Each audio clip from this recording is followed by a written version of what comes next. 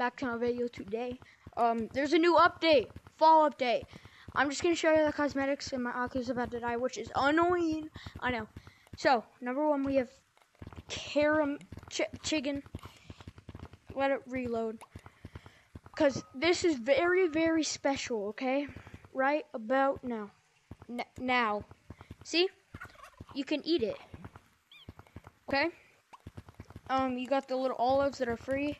Got a pie, some corn. It's corn, a good lump of knobs. It has the juice.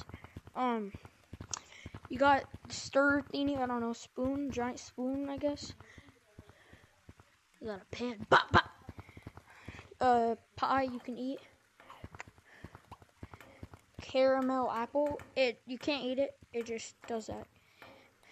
This you already know um a turkey and a the balloon. It is not in the actual shop. It is in the balloon area as you can see right there.